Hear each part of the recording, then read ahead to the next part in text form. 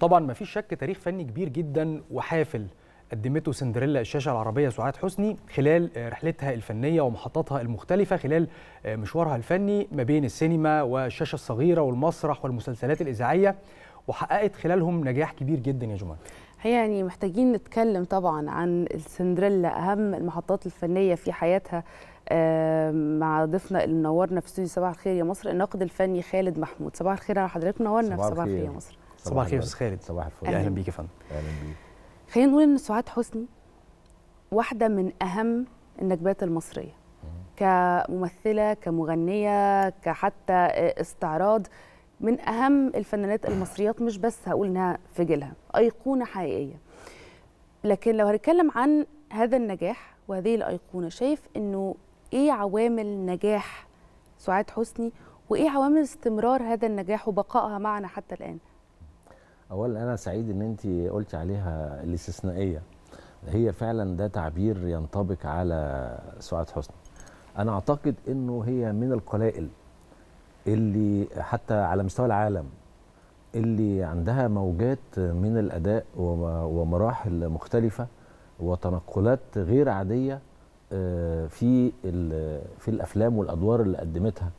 عشان كده تلاقي سعاد حسني هي الوحيدة تقريبا في مصر والعالم العربي اللي قدمت اللي بدأت بأدوار خفيفة وبعدين استعان بها المخرجين في مرحلة مبكرة بأدوار عميقة وثرية جدا. وبعدين دخلت في مرحلة سينما اللي بتدعو للفكر و و و وافكار فلسفية وشخصيات بتاخد وتدي وتشتبك مع المجتمع. يعني شوفي من الزوجة الثانية مثلا. هذه الشخصية اللي هي قدمتها ببراعة شديدة جدا إزاي قدرت تتعامل مع العمدة؟ الجميلة الزوج الزوجة الجميلة اللي فلاح فقير عادي قدرت إزاي تخترق هذا المجتمع وتتمرد عليه وتحقق هدفها؟ القاهرة 30 مثلا. طبعا. هذه الشخصية أنا بعتبرها أهم دور قدمته سعاد حسني على الشاشة. آه هذا الميكس في المشاعر والتعبير والأداء آه من من ارتباط بشاب بيكافح من أجل إثبات وجوده في المجتمع لعلاقة مع عشيق آه لراجل ثري في في حتة تانية خالص. إزاي قدرت آه آه تعيش مع موجات هذه الشخصية بتقلباتها النفسية؟ أعتقد إنه حتى آه لما استعان بيها آه محمد خان في موعد على العشاء. هذا هذا الدور المدهش جدا اللي هي بتقرر فيه في النهاية التخلص من حياتها وحياة الزوج آه لأنها مش قادرة تعيش بين قصة الحب مع الشاب اللي لقت فيه نفسها وهذا الزوج اللي مش لاقية مع نفسها. قدرت سعاد حسني بمشاعرها تقنعك إنك تقبلي زعتر النوجي زوج ورجل. آه عارفة لو شخصيات أخرى بتؤدي هذا الدور تاخدك كده تحسسك بتردد. مم. إنما هي حطتك في قالب. شوفي نظرات عينيها. سحر النظرة وبريق النظرة. آه بتعبر بيها إزاي؟ إزاي بتعبر عن الانكسار؟ إزاي بتعبر عن الذعر الغضب الخوف؟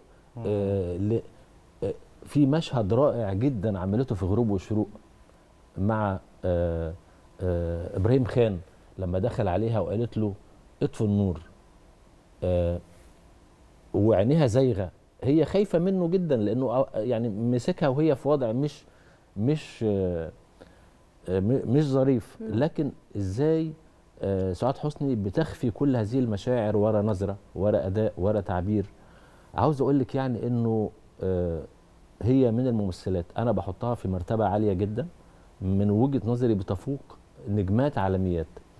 عاوز الناس تعيد قراية سعاد حسني تاني على الشاشة وتتفرج عليها بالراحة. الفلاحة المتمردة آه شايف إنها حتى مع بنت كل ده جيلها. لسه برضه مش واخدة حقها ومحتاجة إن الناس تعيد طبعاً. قراءتها مرة أخرى؟ طبعا. مين من ممثلات في تاريخ السينما المصرية عمل هذه التنويعة؟ مين عمل دور زي آه، نعيمة في حسن ونعيمة؟ و... ولسه أنت كنت بتكلمني حضرتك على شحات أبو كف. إزاي سعاد حسني مهدت الطريق لنور الشريف أصلا؟ يعني هي شخصية شحاته أبو كف وصلت إزاي؟ من الطرف الآخر من قدرات سعاد حسني إنها بتدي المساحة الوجدانية للنجم اللي قدامها إنه يقدر مم. آه، يوصل شخصيته بأكبر قدر ممكن. علامات التعجب وعلامات الاندهاش وعلامات البراءة اللي ظهرت عليها. مهدت للنور الشريف إنه ينجح في شخصية شحاته أبو شحاته أبو كف. زي بالظبط ما عملت مع أحمد زكي. مم. هي طبعا آه، آه، آه، أحمد زكي يعني أعتقد إنه بيدين بالفضل في جزء من المشوار لسعاد حسني لأنها مهدت له آه، الطريق في مثلا زي موعد على العشاء إنه. يخش بشخصية وكاركتر مختلف ولذلك الناس كانت بتسأل دايما هو ليه اختارت أحمد زكي يعمل معاه هو وهي لأنه آه الاثنين آه آه بينهم مساحة. إبداعية مشتركة. آه إزاي كل واحد يدي للتاني آه الفرصة إنه يعبر عن مشاعره وإن الشخصية بتطلع. آه هذا التلون الكبير آه آه توج سعاد حسني في مرحلة مختلفة خالص. يعني وأنا بتكلم معاك سرحان في مجموعة من الشخصيات. صحيح. آه إزاي آه في مشهد خلي بالك من زوزو لما لبست واتحزمت عشان ترقص. قمة الدراما وقمة الوعي وقمة الاندماج في أين عقلي؟ فيلم أين آه، عقلي؟ أيوه وأين عقل أين عقل أنت داخلة في منطقة ده اللي كنا بنقول عليه.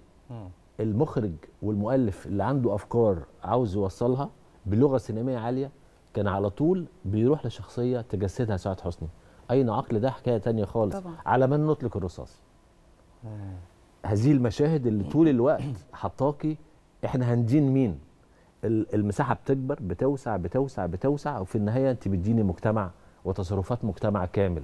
بظروفه بقى السياسية والاقتصادية لولا أداء سعاد حسني و... وعينيها اللي بتطرح تساؤلات بئر الحرمان شوف انت عمالين نمشي على شخصيات صحيح مش معقولة يا جماعة ده تاريخ مم. ممثلة تنوع تنوع تنوع. قادر على. وبعدين آه. ترجع. لإشاعة حب يعني أيوه طبعا ده يعني بصي إزاي هي حتى في إشاعة حب حتى هذا الفيلم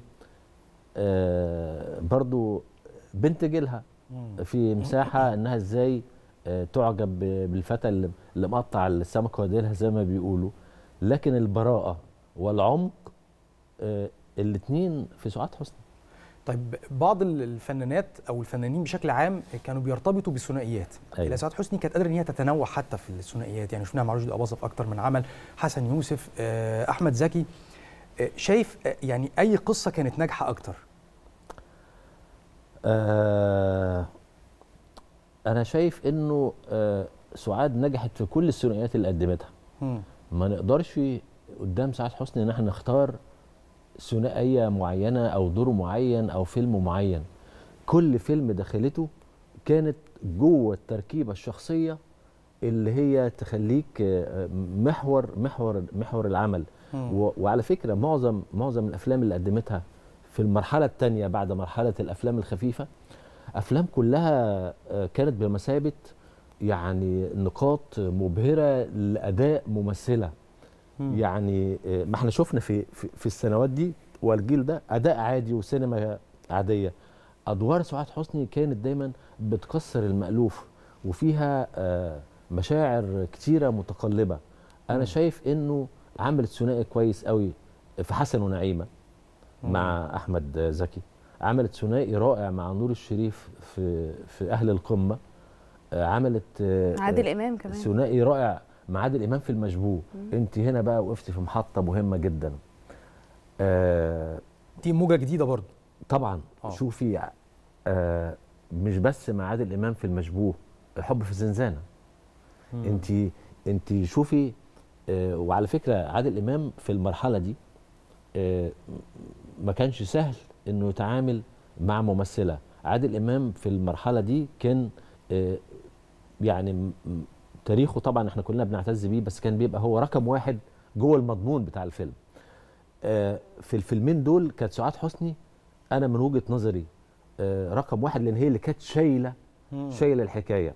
يعني هي اللي حولت مسار شخصية عادل إمام في حب على زنزانه صحيح. وهي اللي حولت مسار عادل إمام آه، كشخصية يعني. مفهوم. في كشخصية لص وودته في حتة تانية آه، في المشبوه. وعلى فكرة فيلم المشبوه ده آه، المخرج سمير سيف لو أنت تيجي تحط الفيلم ده قدامك كان عنده ثلاث كاركترات آه، مهمة قوي سعاد حسني وتصرفها الرائع لما راحت اتفقت مع الضابط اللي قدمه فاروق الفيشاوي. أنا شايف إن حتى الفيلم ده من أروع الأدوار اللي قدمها فاروق الفيشاوي. وعادل إمام كان آه، يعني تقبل الأمر عشان حياته آه، تتحول. الثنائي اللي عملوه آه، في فيلم المشبوه وتجسيدها وتعبيرها ورفضها اللي هو يسير في في منظومة اللصوصية والإجرام. آه أنت فكرتيني بده حتى يعني حب في زنزانة. شوفي نظرتها ورا الشباك صحيح. بالمنديل الأخضر. قصة الحب انت في اللا منطق ما تقبلهاش.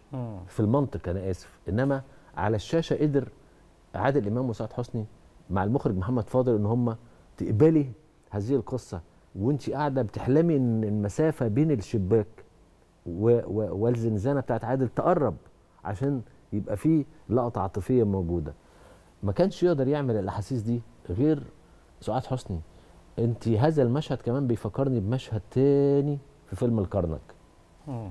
إزاي آه، برضو نور شريف. يعني هذا يعني ثنائي آخر. مم. وكانوا لسه في نور كان لسه يعني بي يعني إيه آه، في في في البدايات. لكن سعاد تحس انها اعمق بكتير جدا. وان سنها اكبر بكتير قوي سنوات الخبرة اقصد. بكتير قوي في هذا الدور من العمر القصير اللي كان اشتغلت فيه في الفن كانت متجاوزة آه، متجاوزة كتير قوي. آه، تعبير آه، بالعين والإحساس والمشاعر والزواغان والبريق واللمعان ما أقدرش أقول صفات أكتر من إني آه، لما بحب أتفرج على حاجة فيها أداء وتمثيل لازم أرجع لسينما سعاد حسني عايز تتفرج على حاجة فيها أداء وتمثيل بترجع ل- وعمق بترجع لسعاد. حسني عايز حاجة فيها شقاوة وخفة دم و- وبترجع لسعاد حسني عايز حاجة فيها بهجة بترجع لسعاد حسني. حقيقي شخصية عشان كده هي استثنائية يعني في كل دور هي بتقدمه انت بتصدقها. يعني ما بتحسش ان في بعد آخر غير اللي انت شايفه. لا لا. أنا عاوز أقول لك أنت أنت حاطة نموذجين سعيد إن أنت بتقوليهم. نموذج الشقاوة آه عاوز أقول لك إن في قصص حب كتير قوي اتبنت آه واتاخد فيها قرار آه وجداني بين الولد والبنت بعد خلي بالك من زوزو. لأنه هو إزاي تختاري آه وإزاي تدافعي عن قرارك. وإزاي تعيشي قصة حب وإزاي تبقي بهذا المرح. وانت جواكي إحساس إنك هتبقي مقبولة من ال- من المجتمع في النهاية. في النهاية أنا لازم أفرض نفسي. هذا الفيلم كانت فيه أفكار آه، متقدمة جدا لسنوات. أخرى قادمة. غيرت مفاهيم في المجتمع. بالظبط غيرت مفاهيم في المجتمع. وأجمل ما في السينما الجميلة لما يبقى عندك بطل أو بطلة يقدروا يحطوكي آه، وي- وي- ويغذوا المجتمع بالأفكار دي وإنها تفضل عايشة معاكي. يعني قصة أميرة عاشت آه، عاشت كتير آه، قصة زع يعني العلاقة بينها وبين زعتر النوري عاشت كتير إنها تتخلص من الزوج القاسي اللي رافض إنه إنه إنه مراته مش قادرة تحس بحياتها معاه آه وإنها تتخلص من هذه الحياة. أكيد ناس كتير بتقف قدامها علشان تفكر إزاي إحنا الاتنين مش قادرين نعيش مع بعض. لا لازم ناخد قرارنا من بدري إن إحنا ما نواصلش الحياة عشان ما نوصلش لنهاية قاسية. آه شايف إن هيجي تاني زي سعاد حسني؟ آه، بصي أنا عندي شبه كان شبه إحساس سلبي بإنه آه، إحنا عندنا أزمة في النجمات في مصر مم. وده سببه آه، فكر المنتجين آه، اللي هم كانوا دايما بيعيشوا ورا إن أنا أجيب نجم وتبقى البطلة مجرد وردة في عروه الجاكيت السنوات دي إحنا بندفع ثمنها دلوقتي مم. إنه لما استمرينا مع نجوم الكوميديا 10 15 سنة بإنه هم المتسيدين الساحة أنا مش ضد ده بس كانت البطلة أو النجمة مجرد عروة يعني كده بتكمل الأحداث. ده بعدنا شوية عن اكتشاف مواهب طب هل هي مشكله مشكلة منتجين ولا ثقافة الفنان نفسه؟ آه الاثنين. يعني إحنا لازم يبقى في إرادة عند الفنان إنه إزاي يصنع تاريخ لنفسه وإن إزاي يتمرد ما أنا عاوز أقول لك على حاجة ما كان ما كان في في ظل زمن سعاد حسني وفاتن حمامة وغيرهم كان في السينما التجارية موجودة. وكانت السينما الكوميدية موجودة لكن كان في آه، آه، مخرج يريد أن يصنع تاريخ مؤلف يريد أن يصنع تاريخ ونجم آه، مسلم نفسه وفي النهاية صنع التاريخ هو هو أحمد زكي عمل كام فيلم في حياته مش بكم مش بالكم الكبير. نور الشريف وقف في لحظة وقال أنا كفاية كده لازم أبتدي أعمل سينما مختلفة. وبحث بنفسه وهنا عاوز أقول رسالة من خلال القعدة الجميلة دي إن أنت لازم تبحث لنفسك عن تاريخ راح بحث عن سمير سيف. اشتغل معاه وقدمه للجمهور وعمل معاه دايرة الانتقام وأفلام أخرى فيما بعد ومنها آه، آه، الدور بتاع شحاتة أبو كف. فيما بعد راح آه، جاب محمد خان وعمل معاه ضربة شمس وأفلام أخرى. راح جاب محمد النجار وعمل معاه زمن حاتم زهران.